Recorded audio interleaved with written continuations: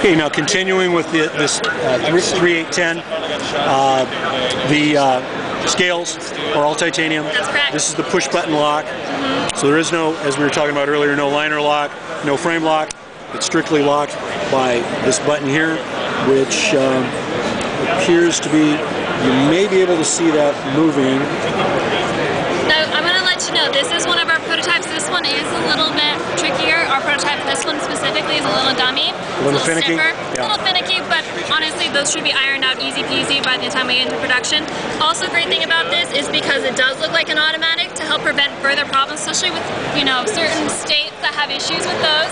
Um, this is actually a three-inch blade, so that is going to meet that requirement, so you can So it, it meets that criteria all the way around to avoid a legal problem for Exactly. most folks. Yeah. So that does from time and again. So we're So trying to Kershaw, once again, looking out for their end users, not wanting to have to fork over some bail money or uh, legal defense fund. Exactly. You know, I've heard about that legal defense fund with Kershaw. Oh, really? There's these elves. There were these elves that uh, I think they were picketing one time, and they decided they wanted to go, uh, you know, with, uh, you know, a little bit of a, a labor situation. They did. Some of them got some jailhouse uh, Yeah, education, we jailhouse to lawyers. elves, so we need to get them out. Exactly. So those guys, you know, I, I understand that it's spinning into a whole new thing.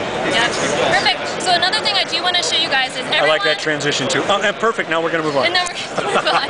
Sorry about that. That's okay. So this is our cryo. A lot of people know about our cryo. Overall, best knife of the year last year. This is a great piece. Gonna be that nice size. A lot of people were asking, hey, can I get in a bigger size? Well, guess what? Now, very quickly, the cryo, and I was very fortunate. I, I uh, was able to obtain about eight or nine copies of this that went out as gifts uh, a few months ago, and uh, it, it's uh, as for the size, it is. It- it- It, was received very well by a lot of guys that will be using these and have been using these in the field, as they would maybe with a knife almost twice the And it's a great price point for anyone wanting a Rick Hinderer design who doesn't want to go into the ZT knives.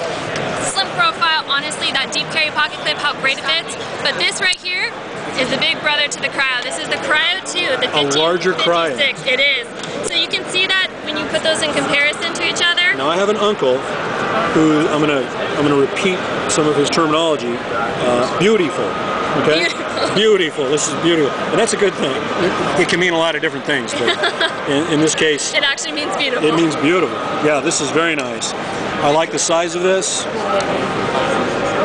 I don't have massive hands, but uh, needless to say, even if you did have hands coming back to the uh, the um, rear portion of the grip or the rear portion of the scales, you would still be able to fill your hand with this thing.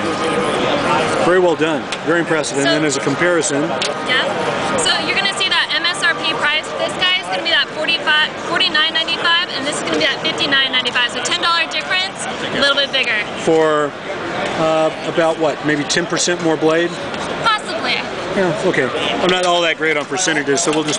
But I, I We'll appreciate. I appreciate your support. No problem. Okay.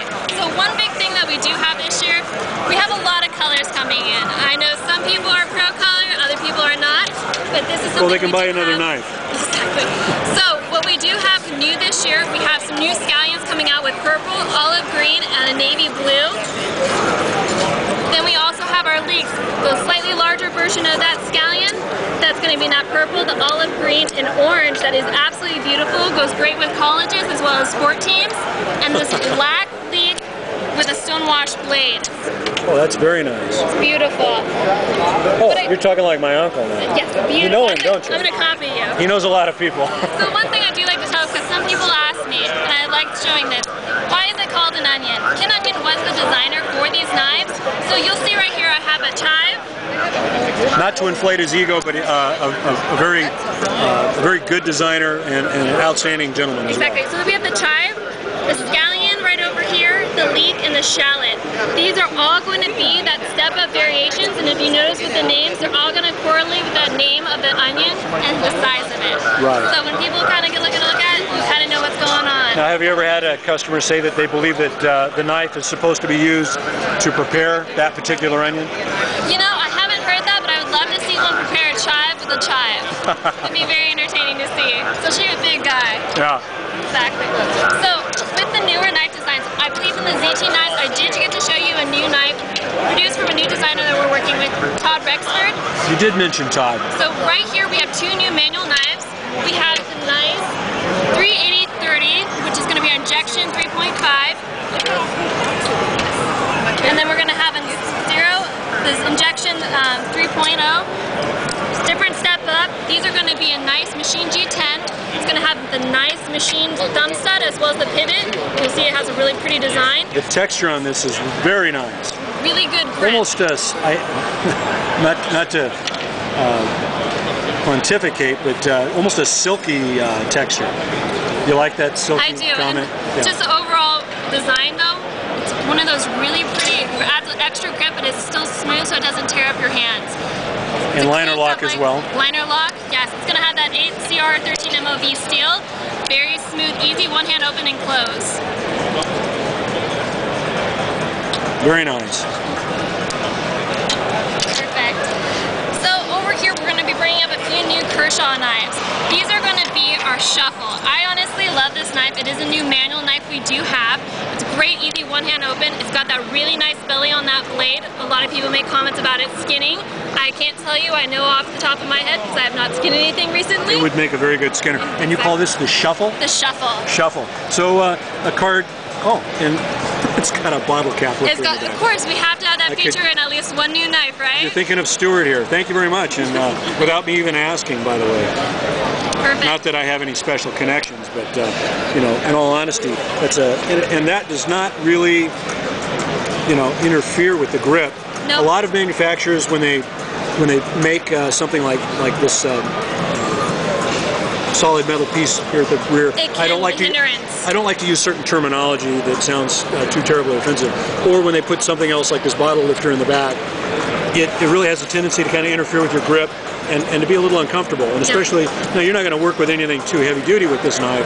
No. But nonetheless, even so, as, as hard as I'm gripping this knife, You're not having a problem. I'm not noticing it, you know, and it's not digging into the heel of my hand. And even that bottle opener sometimes can be a hindrance, and it does have that nice curve to it, so it's not a problem. It also has this great design for the back spacer, deep carry pocket clip. This piece of metal that you were talking about, it's actually a great lanyard hole for the, anyone with a paracord or wants that lanyard. But it also does a makeshift screwdriver, so if you're in like any sort of Right. needs, you can It's just not too pointy to, to dig too much into your clothing or Exactly. your hip when you're wearing it, um, or your hand, and not so much that it would necessarily cut you. But like you said, just narrow enough that you could use it for most large screws. And what I love too about this knife is just the name. The name actually, in my opinion, has that nice feature, the shuffle. You can put your hands right here where the main choils are, but it also has that choil up here on that blade, so you can shuffle your hand. And choke up on the blade a little bit. exactly. And especially if you're doing some detail work, which is what you'd want to do. Exactly. So this is going to have the new K texture that we're going to be coming out with. This is a prototype, so it's not on here. So it's going to be a softer texture that you're going to be having. This is just the plastic. Yeah, okay, so this is not the material that the... Exactly. So this is a prototype version. It is going to have the 8 um, MOV, CR, sorry, Kind of like a Kraton or a Pachmayr or a softer material. Exactly. So overall, with this knife though, that MSRP price is going to be $24.95, which is a great deal for the MSRP price. It's $24.95. Okay. So a nice little knife, especially for something if you want to use as a box opener and just have a nice tool around. Throw It's nice the to see. Kershaw able to come out with some lower price point uh, items as well. It's nice to have them. So this right here. Are you going to? Okay, now this is a, a surreptitious way to try and put the. Uh, I, I won't use a particular country, but to put the copy companies out of business. So they're not going to be able to really compete very much uh, with most of their target audience or their, We're their target crossed. market. That's always the hope. We do want to keep our line with us. We do want to prevent those copycats. We Those do like our- elves are always ahead of the game, always always trying to crypto something. They? Yeah, yeah. Exactly. So this guy right here is one of our newer knives as well. Very similar to the shuffle in design. This is going to be our free fall. So this one is nice. I love the stonewash blade. The grinds on this blade, very detailed. It has that kind of modified tanto tip. I'd kind of like to say it's a little bit like that Spanto, but it's not technically. Spanto. The love. Spanto, love that. Spanto. Watch out for the Spanto. It is You know what? Somebody's going to come out with a movie by that name, by the way. The Spanto. He'll be a special superhero. So this is going to be the 8CR13 MOV steel as well. You're going to be having that stonewash finish, very smooth, speed assist. And frankly, with this raised section, as we were discussing earlier, uh, with the metal in the back for either a lanyard or what have you, even this, uh, with this design, it's not really uncomfortable to really grip tight. and I wouldn't imagine even if